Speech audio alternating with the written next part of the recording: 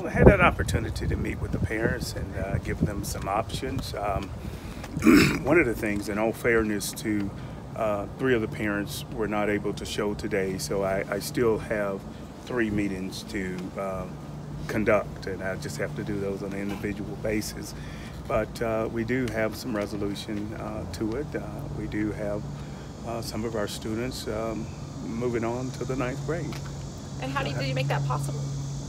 How did you make that possible? They're going to have to make up the skills, and uh, I'll go in. You know, I don't want to go into details uh, with this right now because I still have to make um, uh, meet with three other parents and um, give them the same respect that I gave these. Uh, but uh, students will be able to work on uh, skills at the same time. What were the options you gave the parents? What were the options you gave them? to Well, I will share that uh, once I meet with the uh, with the other three parents. Um, but you know, they were given some options as to how their child could make up uh, the eighth grade as well as the ninth grade and move on. How, and make sure we have our numbers right about how many students were affected. Twelve students. Twelve. Okay. And, And- and this is the same resolution for all 12 students, even though you hadn't spoken with the other parents. Is that, that the plan for all 12? Yes, and um, I just don't want to go completely into the plan without uh, meeting with the other three uh, parents because they told me ahead of time that they would not be able to meet today. Do the parents seem satisfied? I felt that, you know, uh, quite naturally, they know that it's a resolution and that we are all working together. Um, that it's not just one person making these decisions. That um, I have, they understand that as the superintendent, I have guidelines that I, I must follow in ensuring that kids meet standards. Uh, so they certainly understood that, and um, I respect my position as superintendent.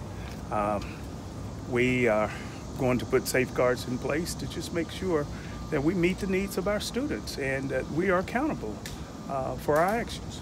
Has the State Department of Education been involved? Did you seek guidance from them Uh, in most making this definitely. decision? Most definitely, yes, we did. Uh, the deputy state superintendent has been involved. The state superintendent I've spoken to over the phone.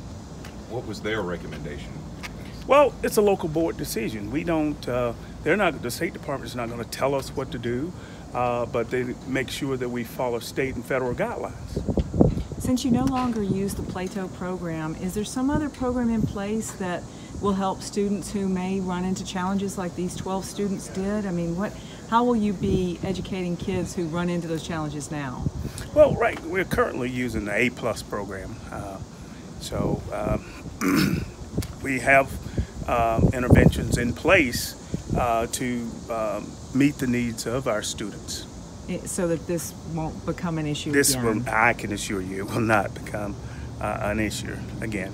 Have you been able to identify exactly how this happened? No, uh, right now I'm still. Uh, I, my main focus was get, trying to find grades and gather. Uh, now, uh, once I complete this, then I can look into that further uh, because I, I I will need to know so that I can make sure that nothing like this ever happens again.